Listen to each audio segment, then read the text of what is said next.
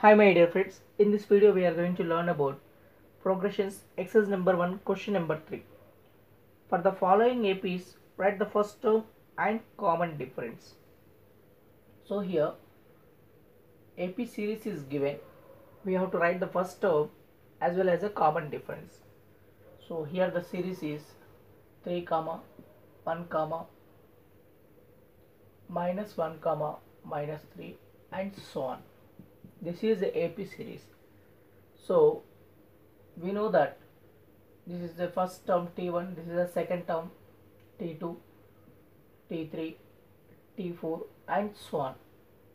The terms are represented by T1 T2 T3 T4 and so on. Or we can also represent with A1 A2 A3 A4 and so on but I am representing with T1 T2 T3 T4 and so on. So he is asking to find the first term.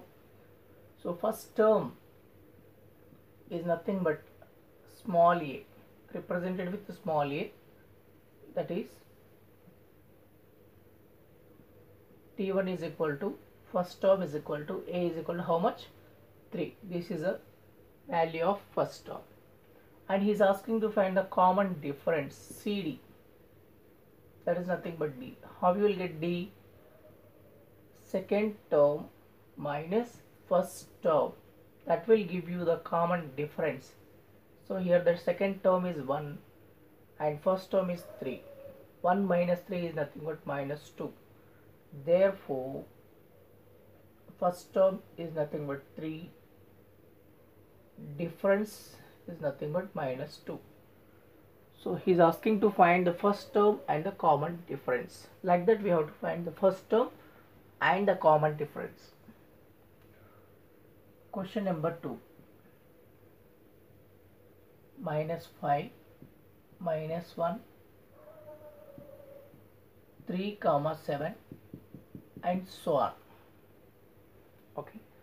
So this is t1 t2 t3 t4 and so on. This is the ap series. Now we have to find the first term that is nothing but t1 t1 is t1 is the first term t1 is equal to a is equal to minus 5 next common difference.